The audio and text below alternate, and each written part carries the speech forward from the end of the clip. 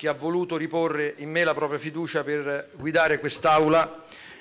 nella consapevolezza, direi certezza, che chi non l'ha fatto troverà una presidenza assolutamente imparziale, ispirata non solo alle norme e ai regolamenti, ma anche alla sensibilità e alle culture di tutti gli eletti.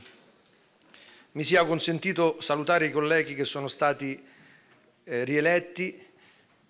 i colleghi che eh, hanno altri incarichi che erano presenti nella precedente legislatura e indirizzare anche il mio in bocca al lupo in modo particolarmente affettuoso a chi per la prima volta ha il privilegio e la responsabilità di sedere in quest'Aula.